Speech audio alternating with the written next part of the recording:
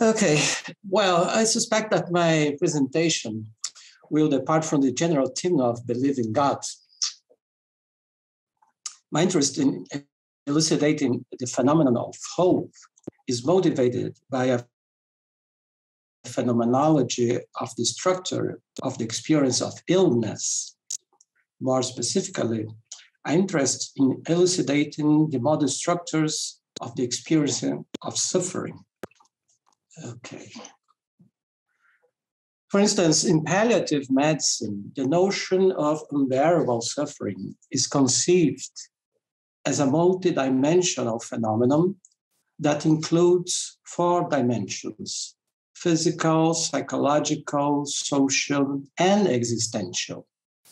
It is widely accepted that in the existential dimension, suffering can be expressed in the domains of mortality, freedom, meaning, and hope.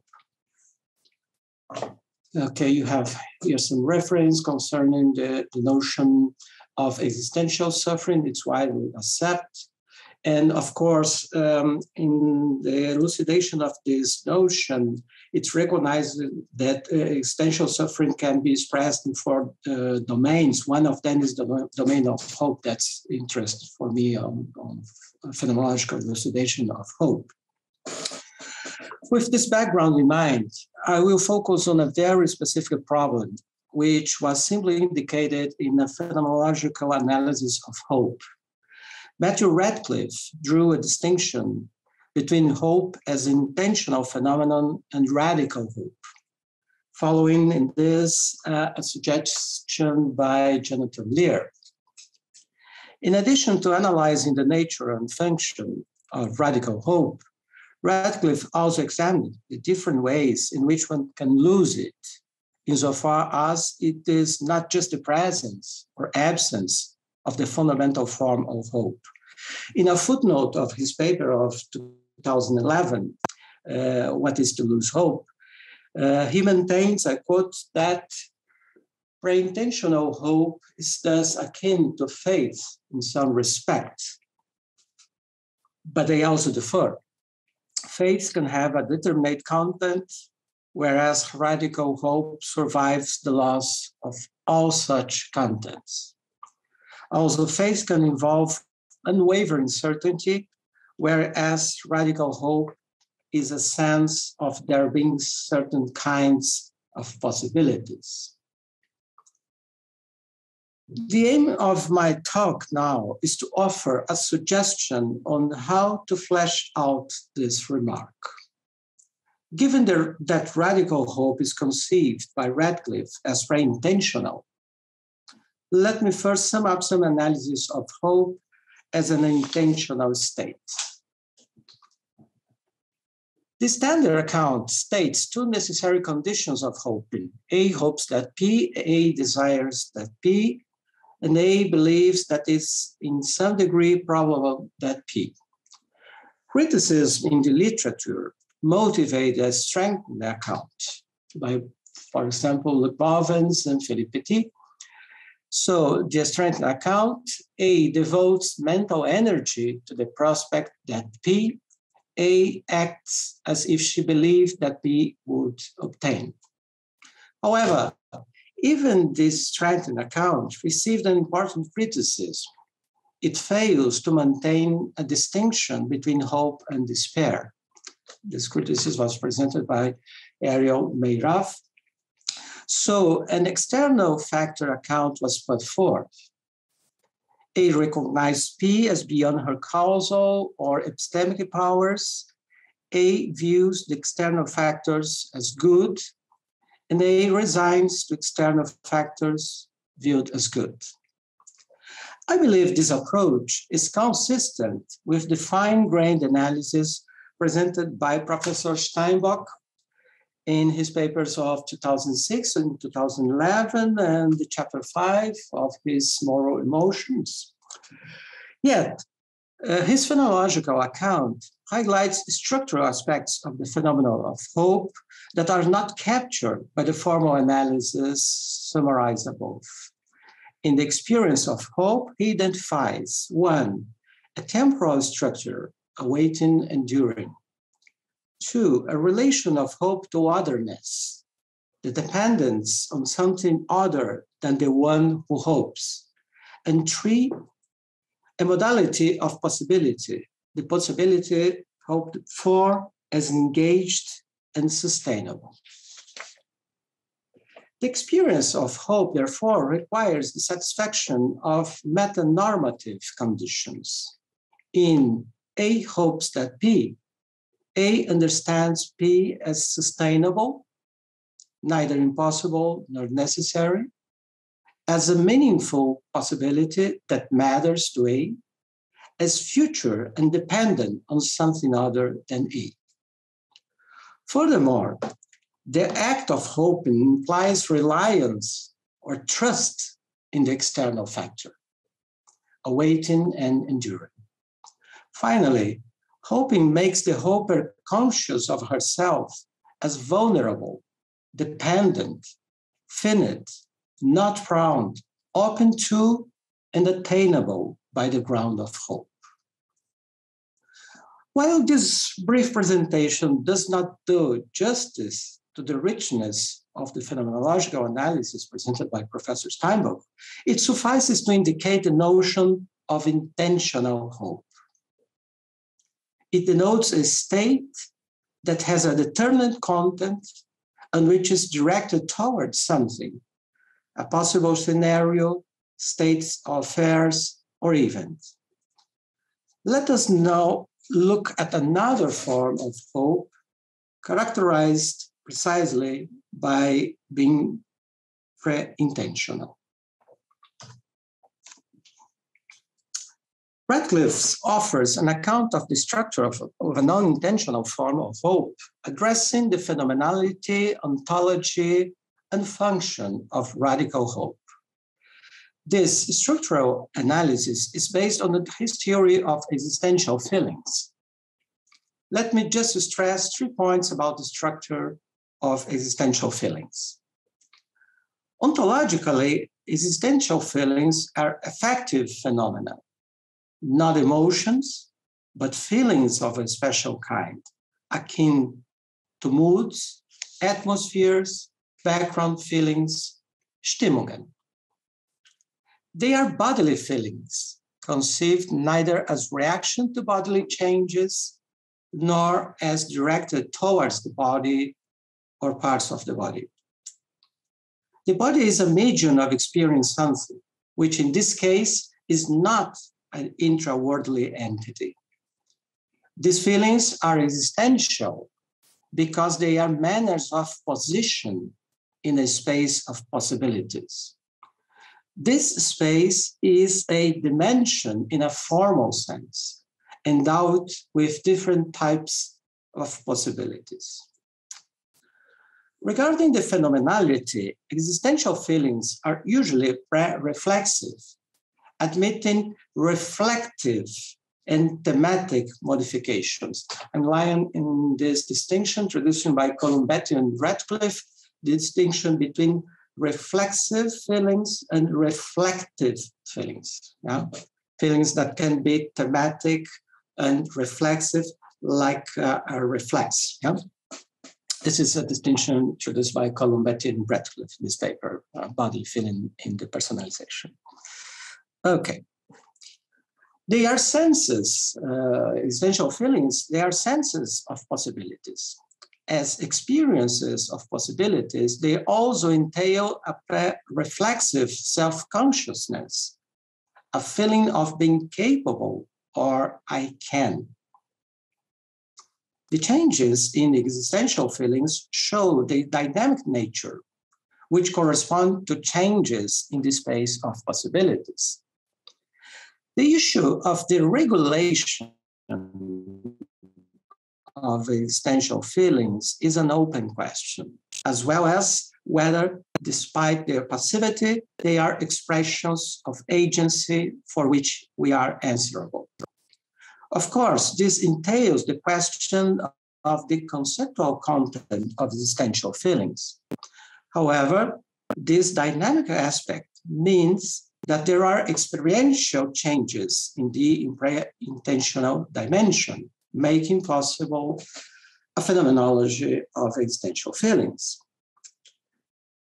Third, concerning function. Concerning function, existential feelings are pre-intentional. They can ground intentional states of any kind, emotions, recollections, actions, thoughts, perceptions, and beliefs. They are pervasive in the sense that they are positions in a modal space that works as a complex horizon for intentional states and comportments, structuring self world relation or experience as a whole. So, Ratcliffe admits that philosophical analysis of hope have already presented another mode of hoping, which is different in kind from any intentional state. For instance, Darrell, Darren Webb identified two meta models of hoping hope as a goal directed, and the kinds of hope that lack a definite goal, taking the form of open ended orientation toward the future. Similarly, uh, Victoria McGeer describes hope as an orientation towards the future that gives energy and direction to the regulation and development of Hopper's agency. Thus, hope, hoping is more than focus on goals. It is to create an imaginative scaffolding that calls for the exercise of capacities, enabling the hoper to experience herself as an agent, potentially or actually. Remarkably, remarkably clear is the phonological approach by Professor Klaus Held in a paper of 2006 in conceiving hope as a stimulus shaped by a primary gestalt that transcends any specific intentional realization. Absolute hope, as in German, Urvertrauen an der Welt, as a fundamental trust in future offerings of meaningful possibilities. Hence, Steinbock, again, in his paper of uh, 2006, conceived the ground of hope as not belonging to the category of objectiveness, but capable of being functional in spite of the loss of every instance of hope. For Ratcliffe, radical hope is an existential feeling, a pre-intention of bodily feeling that structures self-world relation as a whole. It is a feeling not a propositional attitude. Its phenomenality presents the quality of a general sense of the future. However, it's more specific than a sense that there is a future, understood just as a future moment in a temporal series. This specification is entailed by two fundamental aspects the future as offering meaningful possibilities in which things may turn out for the good. Thus, radical hope is a felt sense of the good and the meaningful possibilities offered by the future. As pre intentional, radical hope makes up a context within which intentional hopes are shaped nurtured or lost.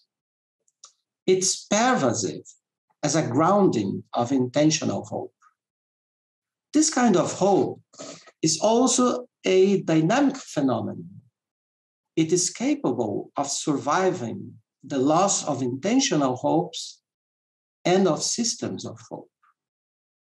Most important, it admits complex ways of erosion and loss which may assume various configurations, the varieties of radical despair. So the changes in the existential feeling of radical hope expresses a dynamic in the very modal dimension of possibilities, which implies ways of losing and limitations in the systems of intentional hope. See, for instance, the difference between the complete loss or loss the capacity of the capacity of hoping for anything at all, and a demoralizing condition, demoralization syndrome, that not necessarily entails the absence of the that capacity. Sorry. Given this framework, the, the idea is that uh, the loss of radical hope may have different kinds, not just to have or not have radical hope, or not just a difference in degree, but different kinds of losing radical hope. Given this framework, what can we say about faith and radical hope? Ratcliffe indicates two lines of comparison. The first, here, the term of comparison, uh, this is a, a sentence in, in, that quotation, that footnote quotation that I quote. Yeah? Here, the term of comparison is that of determinate content. Faith may have a determinate content, whereas radical hope with, uh, with a determinate content is more than radical hope. It is the grounding unit of radical and intentional hope, grounded intentional hope. Radical hope, however, might have no determinate content, might be functional despite the loss of all intentional hope with a determinate content. But is faith possible with no determinate content? That turns on the concept of faith and the structural features it expresses. If one identifies faith with belief and analyzes belief as the acceptance of a proposition or a set of propositions, then faith with no determinate content might be an inconsistent notion. On the other hand, faith devoid of determinate content might be conceivable if one endorses a non-doxastic concept of faith. James Fowler approached faith, for instance, uh, uh, with a focus on fields beyond belief and religion. Following Niebuhr, Tillich, and Wilfred Cantwell Smith, he understands faith as deeper than the mere entertaining a set of beliefs. Rather, he views it as an alignment of the will and a resting of the heart that gives orientation to the whole person. Faith emerges as a response of trust and loyalty to a transcendent, transcendent center of value and power. Moreover, this commitment of trust and loyalty has a fundamental condition. The faithful person must see or have seen that transcendent center of value and power.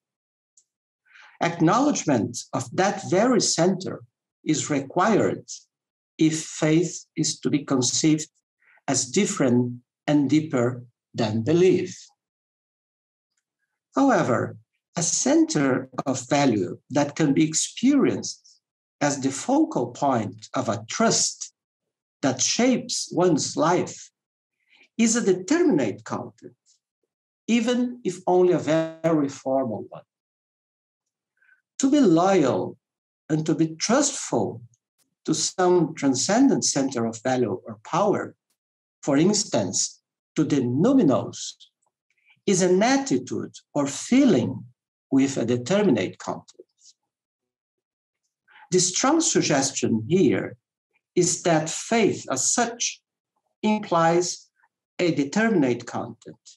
If this is true, then there is no faith without a determinate content, whereas hope may be so radical, maybe goes, may go so radical as to persist even in the absence of a determinate content. Yeah? It's a strong suggestion. The second point presented by Ratcliffe. Um, in this case, the difference between faith and radical hope lies in the relation to certainty. Concerning faith, the relation is weak because certainty is not implied by faith. It is just one possibility, which in turn might receive additional modifications, for instance, unwavering certainty. In the positive case, the certainty involved in faith can be epistemic if faith has beliefs as its contents. A doxastic concept of faith includes levels of knowledge and justification of the concerning beliefs, even if it is a basic belief. On the other hand, a, a fiduciary or active concept of faith, as presented by Fowler, for, for example, for instance, understood as commitment, loyalty, or trust in a transcendent center of power and value, can be certain in another sense. Certainty in this case is a quality of the trust that shapes an entire way of life. One may speculate whether that kind of certainty has an ultimate epistemic nature because it's grounded in the experience of that center of value and, and power. The manner of givenness of this center would afford certainty to faith commitment. In contrast, radical hope does not belong to the space of certainty. It cannot be epistemic certain because it has no determinate content. Being pre-intentional, radical hope does not entail a belief that could be certain. Moreover, radical hope is a sense of the, of the existence of kinds of possibility it is a feeling of position in a space of meaningful, engageable possibilities. If this feeling were tainted by certainty, it would change the modal status of those possibilities. Some of them would become necessary, others impossible. Thus, as with intentional hope, necessity and impossibility of the prospect also make radical hope absent. In other words, if radical hope could be certain, it would not be hope anymore. As a result, radical hope is different from faith because the farmer cannot involve certain data.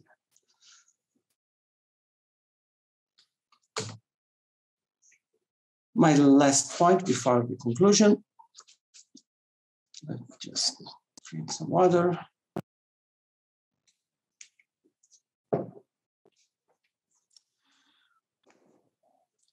These suggestions need a much more detailed analysis. However, if the criteria just presented for distinguish between radical hope and faith are acceptable, then how are they related? Let me make three, three brief points. First, faith appears to be phenomenologically dependent on radical hope. Having content, faith is an intentional state. Therefore, it is grounded on a pre-intentional feeling. Radical hope is or could be this feeling only if faith presupposes a sense of the future as offering possibilities. This is the case with a doxastic concept of faith, as far as beliefs entail possibilities like confirming, refuting, evaluating, etc. The same seems to hold for a fiduciary notion of faith, as far as commitment to a center of value and power implies possibilities like the enduring of such a power or the continuous opening to its graceful donation. Hence, faith depends on radical hope. This can be dubbed a humanist concept of radical hope, more precisely, a secular humanist conception of hope. A view like this, for example, from Baggini and, and others, uh, um, a view, a conception, a humanist, a secular conception of, uh, of, of hope, which does not risk the profound insight that the experience of hope is rooted in religious experience, like as stated by Professor Steinbock or Professor Klaus Hess. Uh, this humanist view of radical hope does, does not risk this step towards a conception of hope as rooted in religious experience. If faith depends on, on radical hopes. Um, second point, point, there are complex relations of ontological dependence between hope and faith. On one hand, radical hope does not existentially depend on faith, since radical hope may survive the loss of all determinate content, including the loss of faith. On the other hand, faith appears to be essentially and existentially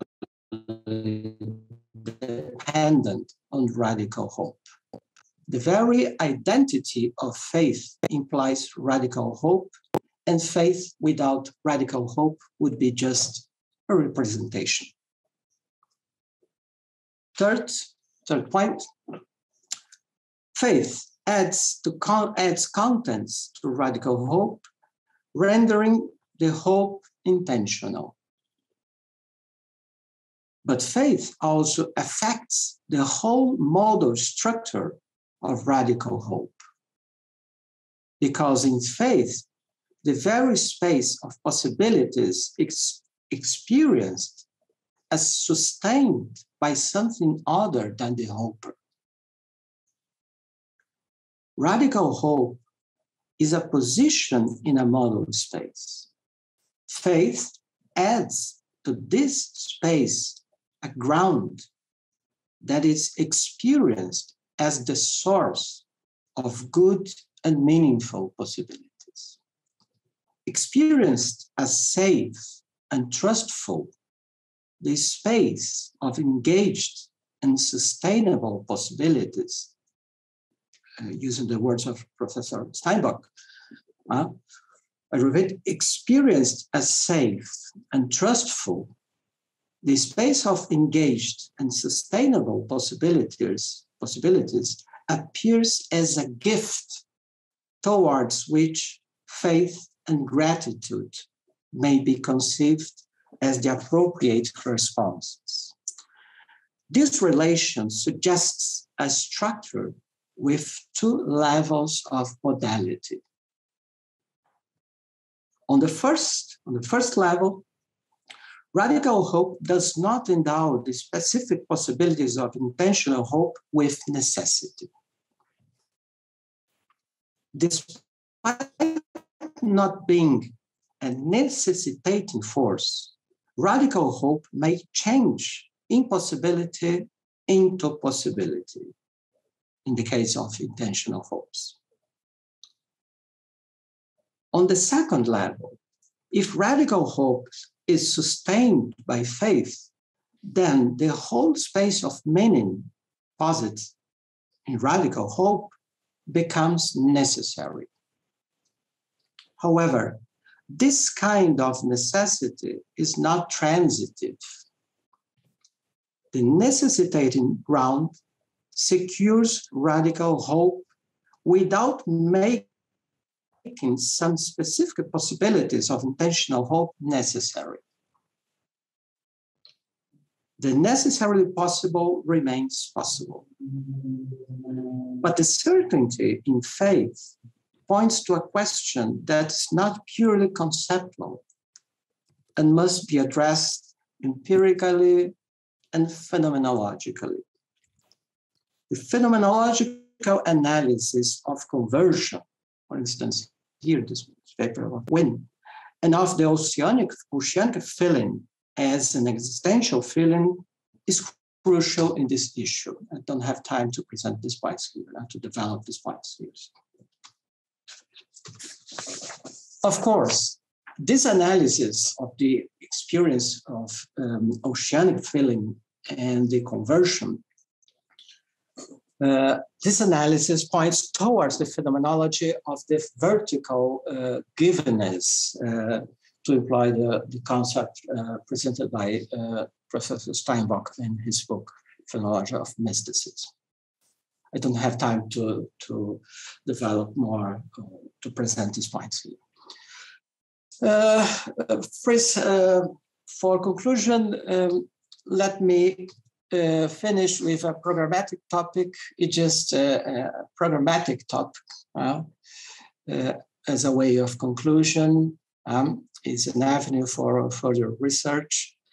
Um, this programmatic topic points out another aspect of the modal structure of radical hope. Right? It's a programmatic topic uh, which points out another aspect of this um, mod- modality of radical hope or the modal structure of radical hope.